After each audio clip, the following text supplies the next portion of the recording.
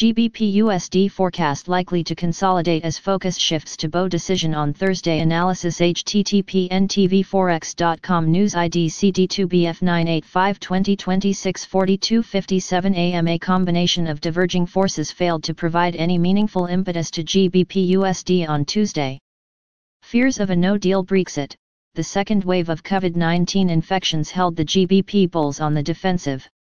Sustained USD selling bias continued lending some support ahead of the BoE decision on NBSP Thursday.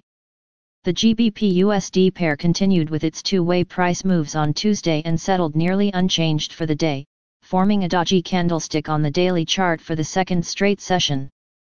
Fears about the second wave of coronavirus infections in the UK comes amid worries over a no-deal Brexit and kept investors shy of the British pound. However, the emergence of some fresh selling around the US dollar continued lending some support to the major and helped limit any deeper losses. As investors looked past Monday's upbeat US ISM manufacturing PMI, worries that the ever-increasing number of coronavirus cases could undermine the US economic recovery led to some renewed weakness for the greenback. Adding to this, the impasse over the U.S. fiscal stimulus measures and the ongoing slump in the U.S. Treasury bond yields exerted some additional pressure on the buck.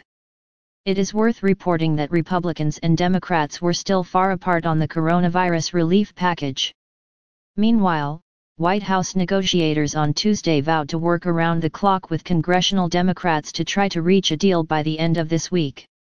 However, the U.S. Treasury Secretary Steven Mnuchin warned that we're not going anywhere close to the $3.4 trillion that Democrats have been seeking. This, in turn, failed to provide any respite to the USD bulls, rather assisted the pair to rebound around 90 pips from an intraday swing low near the 1.2980 region. The momentum prolonged through the first half of the trading action during the Asian session on Wednesday, albeit lacked any strong follow-through. The pair remained below the 1.3100 round figure mark as investors now seemed to refrain from placing fresh bets ahead of the Bank of England monetary policy update on Thursday. In the meantime, Wednesday's release of the ADP report on private sector employment and ISM non-manufacturing PMI data from the US will be looked upon for some meaningful trading impetus later during the early North American session. Short-term technical outlook from a technical perspective, the para's inability to regain any strong positive traction could be the first signs of possible bullish exhaustion. However, it will be prudent to wait for some strong follow-through selling before confirming that the pair might have already topped out in the near term. Hence, any meaningful slide back towards the key 1.3000 psychological mark might still be seen as a buying opportunity.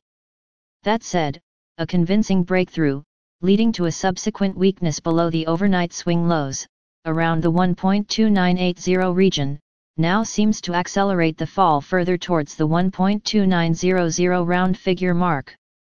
On the flip side, sustained move back above the 1.3100 mark has the potential to lift the pair back towards multi-month tops, near the 1.3170 region. This is closely followed by the 1.3200 mark March swing highs, above which the pair seems all set to retest YTD tops, around the 1.3265 region, before bulls eventually aim to reclaim the 1.3300 round figure mark. If you want to read real-time news, text messages to MT5 Expert Advisors page at https m.me mt5.expert.advisors.